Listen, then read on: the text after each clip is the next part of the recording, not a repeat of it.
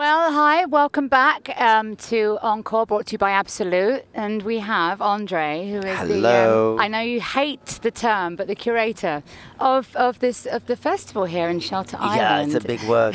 Why no, did you pick- curating is a big word because this happened more like a friends and family uh, uh, idea. Mm-hmm. So I was out here like a few weeks ago, and we were like having dinner with Andre Balazs, who owns the place, and I said like it's amazing. We should do a little festival. And then he said, "Yes, let's do it." What made you pick some of the bands? I mean, we have Exit Music and some brilliant bands. Some, Yeah, brilliant. Like it- was more like uh, there's a band called Gazelle. They played at Baron. They were amazing. They, from South they, Africa. I mean, yeah, that's- and they brought back like a kind of funky electro vibe that I didn't see, and on stage they were amazing, and they had this festive side. Then there is Gus and Scout, or like I love them. They're cute and they're so pretty, and it's, Mm. it's like almost a bit of country, isn't it? yeah, It's wonderful. yeah, and it's like the first concerts they're doing. Then there's TV Baby, a real like New York band, and my friend Since Ever. Then there's my friend Natasha from Paris. So it's really like a mix of friends, and then there's some DJ. Like we, we Yeah. put the friends who were ready to come and, and play the game with us. Yeah.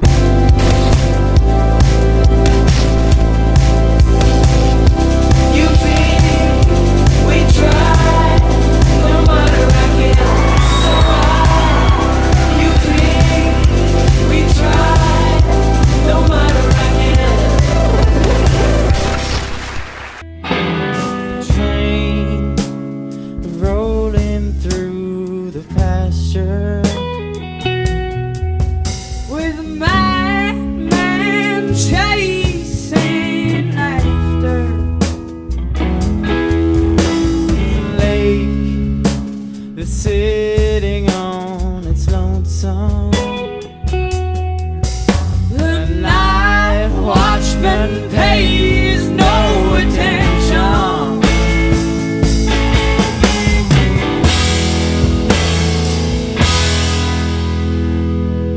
And Scout, you guys are here and you're performing this evening. Thank you so much for taking the time. Um, first song I heard of yours, I think it was um, "Gone, Gone, Gone," and I had no idea what to expect, and I was so ah, I mean, it just took me away. And I, I just want to know where did, how did this happen? How did you guys come up with this sound? Is this something that you organically just listened to? Because there's a real bluesy country kind of feel. Tell me how this all came about.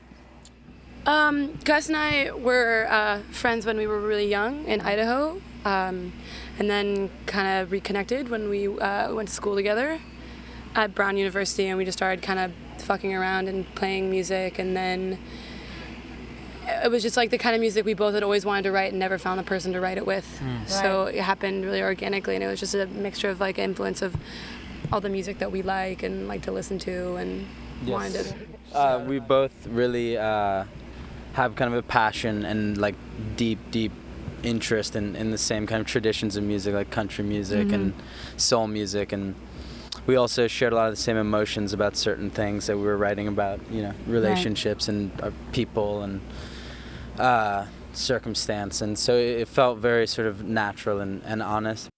The hours dying on the vine. We're drifting slowly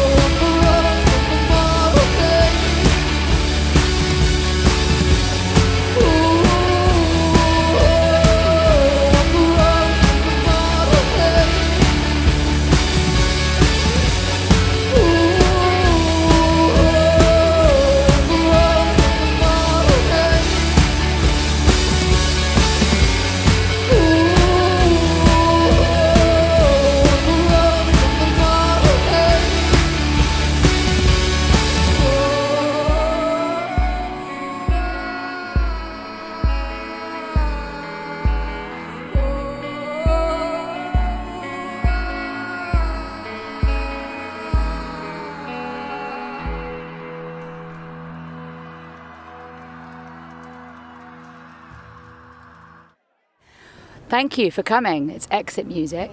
Uh, uh, what made you decide to make music together? Was that an instant connection when you met at 18, or was this something that gradually?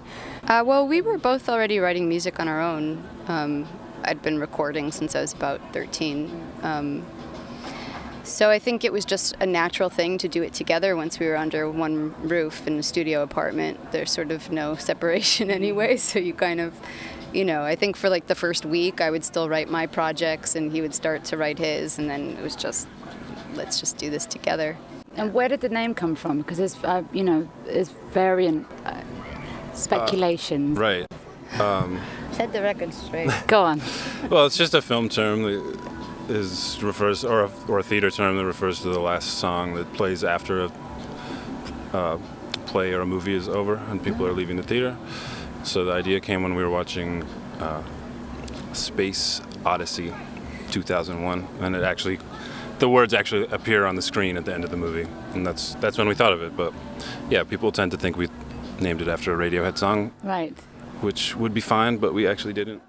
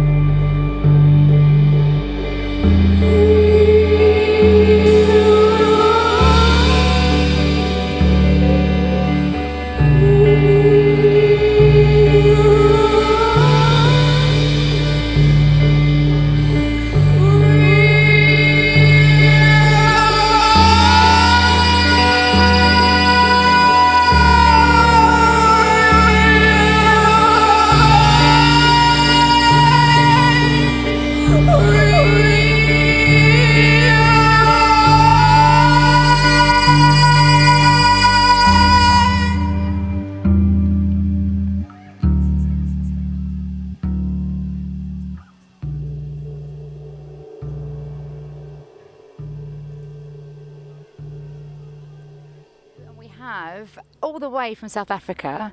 Hi guys, Gazelle. Has this sort of Afrobeat influence been a big part of you, you, know, the music you've listened to growing up? Definitely. I mean, uh, I grew up in the bush in in South Africa, so like it's really within me. You know, I grew up with traditional South African and different African music, and uh, it's basically just became a part of my life. And that's why when I came to America, I was looking for musicians that, you know, I had the spirit. You know. Right. I was going to say you don't sound very South African. No, you like, I, mean, I, I met. I You met got to make them. You got to pretend. I mean, how? Tell me. I mean, you, you're you're big back where you're from in South Africa. How are you finding people are responding already playing here in the States? So far, so good. I mean, like I'm a I'm a showman. You know, I my fan my favorite musicians of all time were people that were performers. People like uh, James Brown, Freddie Mercury, you know, Boney M. You know, Yeah. people that went the whole way. You know, that did effort. They said, you know, we can sing and dance, we can make music. Let's entertain the people even more. You know, mm-hmm. bring the people a show. So that is. That's our aim and goal, you know, to bring the people a show and an experience as a whole. So, yeah.